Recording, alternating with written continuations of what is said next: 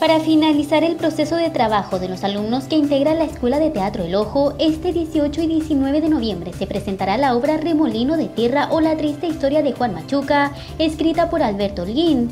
La actividad es completamente gratuita y es a partir de las 21 horas en la sala teatral del Parque José Saavedra de Calama.